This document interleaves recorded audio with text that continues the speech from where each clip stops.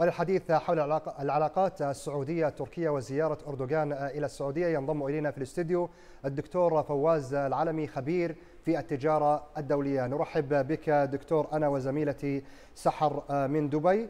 نتحدث عن علاقات فاترة في السنوات الماضية على المستوى السياسي والاقتصادي والتجاري والاستثماري أيضا بين السعودية وتركيا. ماذا نتوقع من هذه الزيارة؟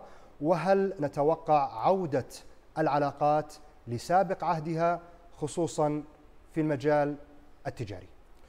آه مساء الخير لكم في الشرق وجميع المشاهدين.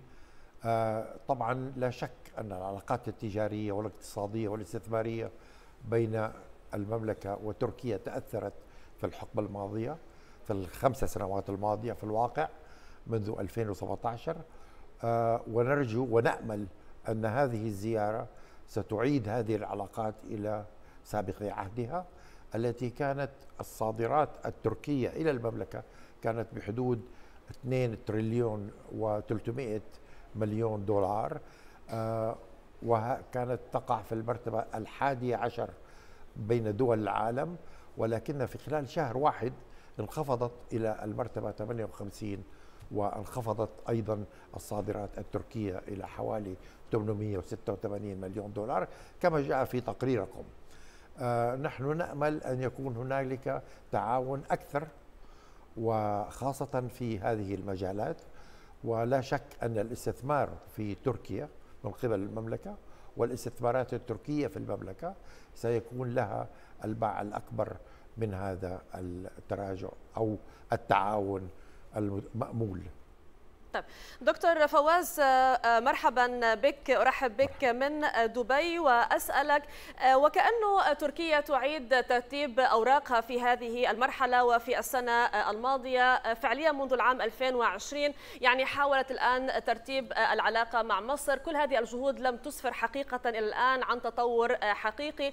العلاقة مع الإمارات أصبحت علاقة جيدة. أيضا تركيا تحاول علاقات أفضل والوصول إلى علاقات أفضل مع الجانب الجانب الإسرائيلي الآن مع جانب المملكة العربية السعودية. فيما يتعلق بالمتوقع على سبيل المثال عندما زار الشيخ محمد بن زايد زار تركيا بعد هذه الأزمة أعلن عن صندوق بعشرة مليارات دولار لدعم الاستثمارات في تركيا. الآن عند عند الحديث بإيجابية ربما عن عودة هذه العلاقات ونحن نعلم بأنه تركيا تحتاج إلى دعم اقتصادي. ما الذي نتوقعه من المملكة لكي تدعم تركيا تركيا في هذه المرحلة؟ طبعا تركيا تعيش على الصادرات لأنها تهتم بشكل كبير جدا في المحتوى المحلي التركي وبالتالي فإن صادراتها إلى المملكة سترتفع وتعود إلى سابق عقدها قبل الفتور قبل فترة الفتور ولكن أيضا الاستثمارات التركية التي ستكون متواجدة في المملكة. هنالك استثمارات تركية حاليا متواجدة ولكنها ستتضاعف في المستقبل وأيضا ستستفيد تركيا من هذه العلاقة بحيث أن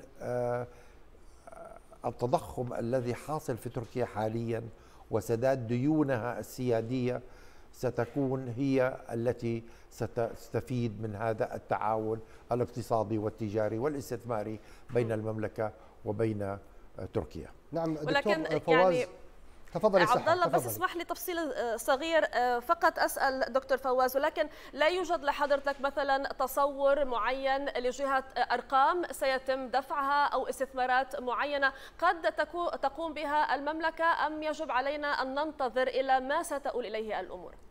أنا من رأيي ننتظر إلى ما ستؤول عليه الأمور ولكن نحن متفائلين بشكل كبير جدا من هذا اللقاء الذي سيتم اليوم وغدا الزيارة ستستمر مدة يومين وأعتقد أنه سيكون هنالك عوائد كبيرة من هذه الزيارة بين تركيا والمملكة ولكن ننتظر حتى نكون دقيقين في الأرقام التي سنطلقها للمشاهدين. نعم دكتور هناك متغيرات جيوسياسية وأيضا متغيرات اقتصادية جذرية نعم. تحدث في العالم.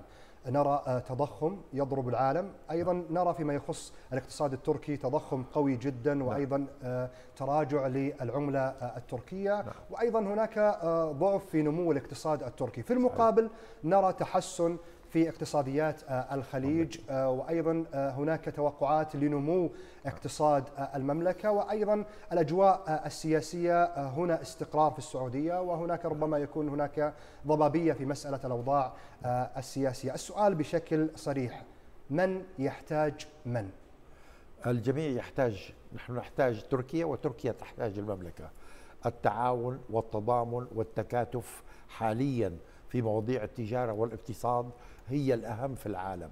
ونحن نعلم أن آه، المملكة وتركيا عضوين في آه، المجموعة العشرين ولكن المملكة هي الوحيدة في هذه المجموعة التي أكد البنك الدولي أن النمو الاقتصادي في العام القادم قد يرتفع إلى سبعة وستة من عشرة في المئة بينما في تركيا قد لا يرتفع مطلقا.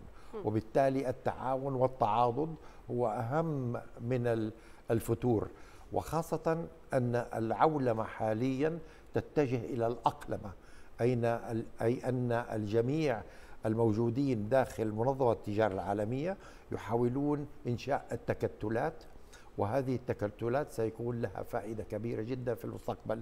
ونحن في أمس الحاجة إلى تركيا وتركيا في أمس الحاجة إلى المملكة كعضوين في مجموعة العشرين حتى يكون هنالك تكتل قوي بين دول مجلس التعاون الخليجي وتركيا أيضا.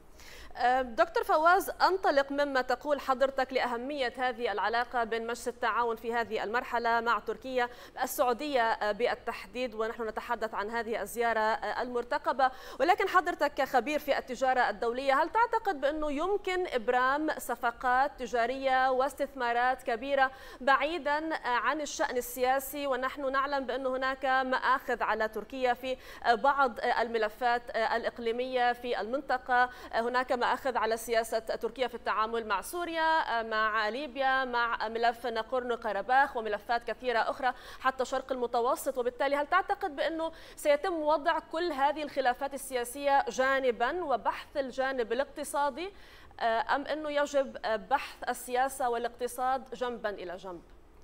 آه، عندما ننظر إلى المصالح وخاصة المصالح الاقتصادية والتجارية والاستثمارية لا يوجد دولة في العالم ليست لديها بعض الأخطاء سواء كانت محلية إقليمية أو دولية.